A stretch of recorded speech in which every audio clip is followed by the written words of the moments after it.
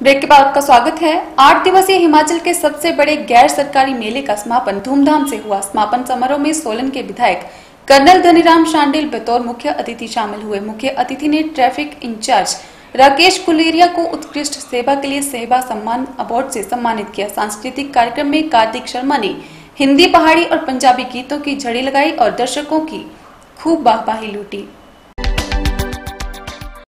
आठ दिवसीय हिमाचल के सबसे बड़े गैर सरकारी मेले का समापन धूमधाम से हुआ। समापन समारोह में सोलन के विधायक कर्नल धनीराम शांडिल, बतौर मुख्य अतिथि शामिल हुए। मुख्य अतिथि ने ट्रैफ़िक इंचार्ज राकेश कुलेरिया को उत्कृष्ट सेवा के लिए सेवा सम्मान अवार्ड से सम्मानित किया। सांस्कृतिक कार्यक्रम में कार्तिक शर्मा ने हिंदी, पहाड़ी और पंजाबी गीतों की झड़ी लगाई और सभी दर्शकों की खूब वाहवाही लूटी। अंतिम दिन सोलन का ऐतिहासिक ठोडो मैदान दर्शकों से खचाखच भरा दिखाई दिया। वहीं हिमाचल के उभरते हुए गायक तुषार वर्मा ने भी बेहतरीन प्रस्तुतियाँ देकर सभी का मन मोह लिया। लोक गायक राजीव ने पहाड़ी नाट्यों से सभी को खूब झुमाया इस मौके पर सोलन के विधायक कर्नल धनीराम शांडिल ने कहा कि संस्था बेहद ही सराहनीय कार्य कर रही है और हिमाचली कलाकारों को ज़्यादा से ज़्यादा मंच प्रदान किया जा रहा है। उन्होंने कहा कि 17 वर्ष पहले संस्था ने इस उत्सव का आरंभ किया था, जो निरंतर संस्था द्वारा आयोजित किया जा रहा है जिसके चलते आज इस उत्सव की चर्चा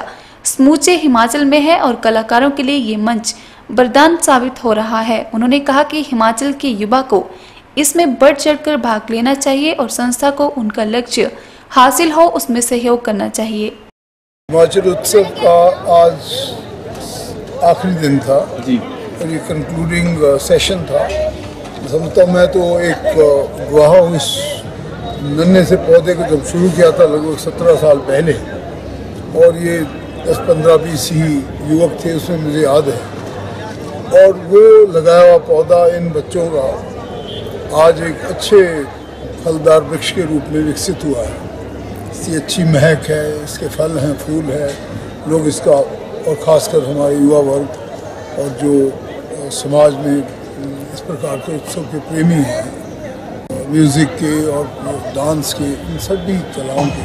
मैं समझता हूँ, न केवल इसके लिए, बल्कि इन लोगों ने इसे इतना अच्छा बनाया कि एक हफ़्ते तक तो किसी इतने अच्छे फ़ंक्शन को सस्टेन करना अपने में ही एक बहुत बड़ी उपलब्धि है। तो मैं जहाँ इनकी पूरी टीम को अपनी शुभकामना देता हूँ उनको बधाई देता हूँ, वहीं अपने युवा वर्ग के बच्चों को यही संदेश देना चाहता हूँ कि वो इस प्रकार के कार्यक्रम में और पूरा भरपूर सहयोग दें और इसमें खुद पार्टिसिपेट करें ताकि वो नशे जैसी लत के दूर रहें और समाज में एक अच्छे नागरिक बनने का।